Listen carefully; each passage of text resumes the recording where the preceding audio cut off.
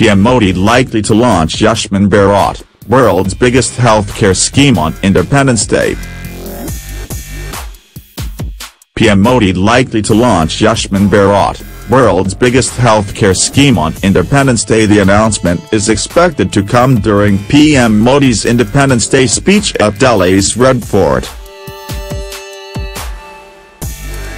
With the nation gearing up to celebrate its 72nd independence on August 15, 2018, Prime Minister Narendra Modi is likely to launch Ayushman Bharat National Health Protection Scheme, ABNHPS, on Wednesday. The full rollout of the world's largest government-funded public health insurance scheme is expected to be announced from September 25 onwards. The announcement is expected to come during PM Modi's Independence Day speech at Delhi's Red Fort.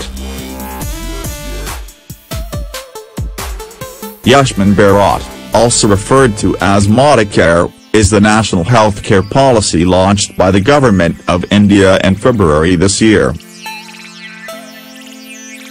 The ambitious healthcare policy promises to cover over 10 crore poor and vulnerable families approximately 50 crore beneficiaries, providing coverage up to Rs 5 lakh per family per year for secondary and tertiary care hospitalization.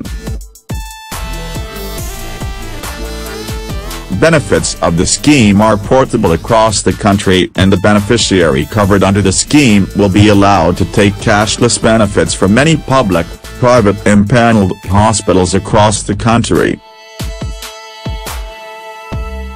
The scheme is entitlement-based, with the entitlement decided on the basis of deprivation criteria in the Socio-Economic and Caste Census SEC, database. The beneficiaries can avail the facilities in both public as well as impaneled private healthcare centers.